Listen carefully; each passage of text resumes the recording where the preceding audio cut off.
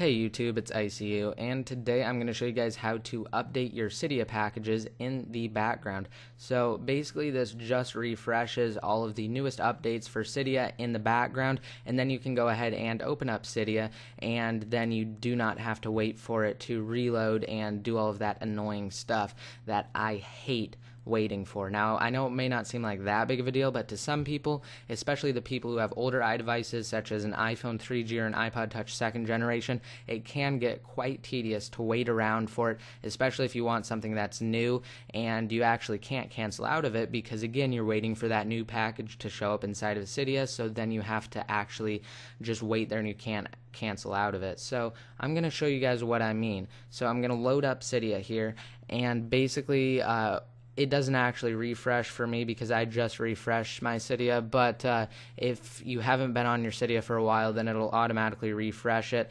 and uh, it does get quite annoying. And again, it does take a long time for older iDevices. And basically, uh, again, I cannot stress enough how annoying it is to just see that updating database and the downloading release and packages up there at the top. Now, it does go quite fast for me because I am over a really super fast Wi Fi connection right now, but I'm going to show you guys how to change all of this. First, you obviously will have to be jailbroken, and if you do not know how to jailbreak or you don't know what jailbreaking is or you don't even know what I'm talking about as far as Cydia goes, then you guys can click on the link that is down below in the more info that will take you to my video video on how to jailbreak iOS 4.2.1 on every iDevice and it is untethered. So uh, once you have a jailbroken iDevice, you can come into Cydia and you can go to the search tab at the bottom and you can search for SBSettings. It is all one word and uh, it is from the Big Boss repository and it is right there. It is the second one after you search for SBSettings and then you can go ahead and just hit install and confirm. Now, once you have SBSettings installed, you're going to have to install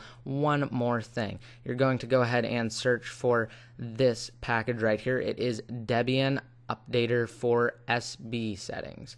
So again, it is right here and you just install and confirm it. Once you have resprung, I'm going to show you what it is. So basically all you have to do is just swipe over to access SBSettings and then what you can do from there is you can go ahead and just tap on the Deb updater and as you can see up in this corner right here by that little lock info thing right there, uh, you can see that it is refreshing my Cydia packages. Now, unfortunately, there is no real way for me to actually show you guys that it did refresh and it did grab the latest packages. I guess you guys are just going to have to trust me and try it out for yourself and see if it works that way.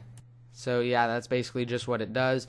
Uh, I hope you guys like this video. Let me know what you think in the comment section below. And as always, be sure to rate this video up. And if you aren't already, make sure you subscribe to me for more high quality videos daily. Uh, again, I hope you guys like this video.